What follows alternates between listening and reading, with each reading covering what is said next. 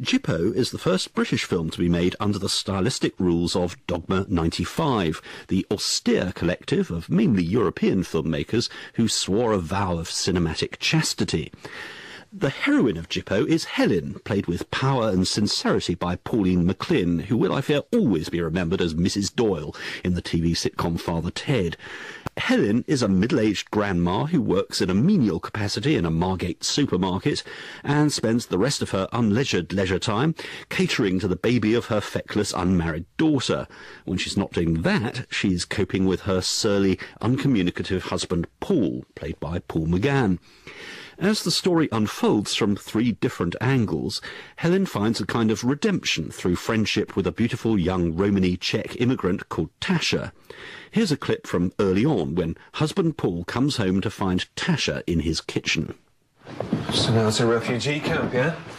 Oh, for God's sake, Paul, you can't say things like that in front of people. Don't turn the television on. We, we have a guest. It's so rude. What do you think of my drawing? What? It's good, isn't it? My drawing from my class. Did you do that? That's sad. That is so sad. Pauline McLynn as Helen and Paul McGann as husband Paul in Gypo, directed and written by Jan Dunn.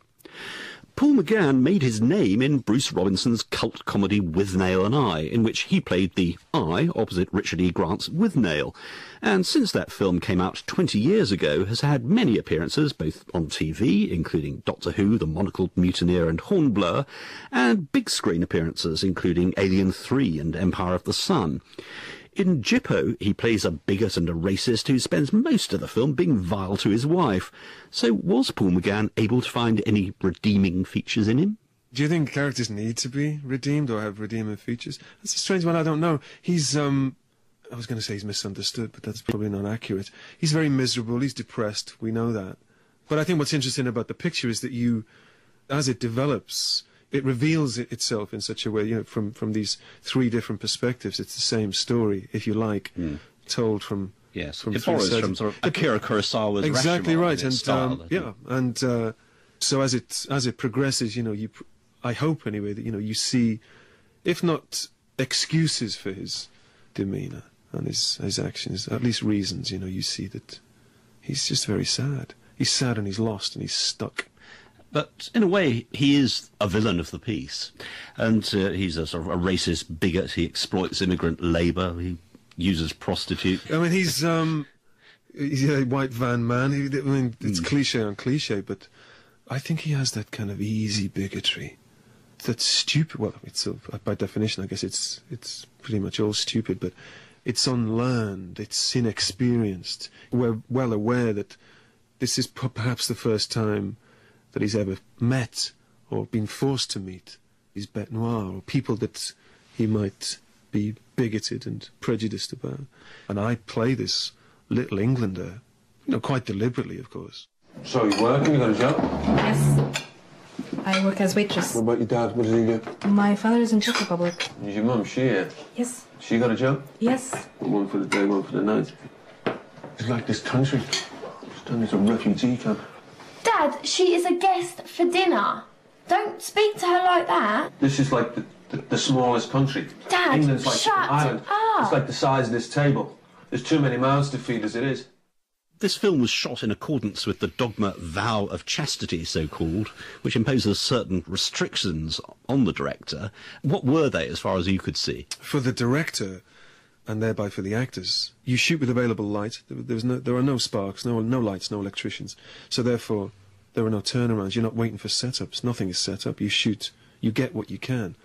You're not even allowed to dress a set. These are just a few of the. Uh, there's a there's a list as long as my arm, I tell you. And they were uh, they were having to check, and they, they might send somebody round. It's like you know, like health and safety, or you know, some government office. They'll send someone round, you know, without warning to just check that you're doing it. So you get what you can. You shoot what you can. Everything's handheld. There are no legs on the camera. So what, what you see immediately that this isn't filmmaking, mainstream filmmaking as we know it. For example, we, you know, we shot in a house. The family house was a family house. We took the keys off a family at eight in the morning. They went to work. The kids went to school. We didn't dress anything. We used their furniture. We used their kettle, their cups, their telly, everything. We even ate their food that was in the fridge. You're not allowed to take anything in. I know, I know. You're, it sounds ludicrous, doesn't it? But this is this is the vow of chastity. You even, strictly speaking, are wearing your own clothes. So how much of it was improvised? I mean, how much of a script was there? There's an outline, there's a story outline, there's a few suggestions for characters. It's fairly prescriptive and strict. I don't know if they're not having us on really, but even even having having uh, undergone the experience, I'm not sure how much of it is they're just taking the pee. I'm not sure. but, but what, was curious and what I was I was also curious about was some of the claims made for this process. Some of hmm. them a little bit extravagant. What, which ones? Do you Well, only you know. I mean, generally, in that it's possible, for example, to make something more authentic. And of course, that's in the eye of the beholder, as I see it. All filmmaking, as I see it, is artifice. Hmm. You know, to various degrees. This included. If I move this camera around and shake it a little bit, does that make does that make the thing more exciting and thereby more authentic or something? Now, I w- also want to ask you about Withnail and I, which is coming out in its 20th anniversary. This is going to make you feel really old. 20th anniversary edition. Dates me, mate. Next month. And to me, it's one of the great pictures of student poverty. um, do you have fond memories of it? Of shooting it. Yeah. Oh yeah. You know, I think if you talk to most actors, you say, well, you know, what was, when were you happiest? You know, what was the best thing you did? Most of them would say the first thing I did. Hmm. A, because it was it was a buzz. You know, you were finally doing. Hmm. You were in a movie. We were in a hmm. movie. You'd reached the promised land. It was this is what you wanted to do when you were a kid. You were in this movie, and it was very happy. We were happy doing it. We knew it was good. You know. If you look at the dialogue on the page, it's completely different from most films, isn't it? It's quite surreal. It is, and it's perfectly scripted as well. There's not. Mm. I mean, it's it's the absolute opposite to something like Gypo. I mean, every nuance, Yeah. every. People don't often realise that about Withnail. It was scored like a musical mm. score. I- I'm not a writer. I've never been a writer. But if you look at the example of Withnail, you know, character delineation and characterization, and you know, if you put a piece of paper over the left-hand margin, you would still know who was speaking. Mm. I know that sounds so simple, but you, but I can't tell you the amount of times I've worked on stuff down the years where dialogue is interchangeable.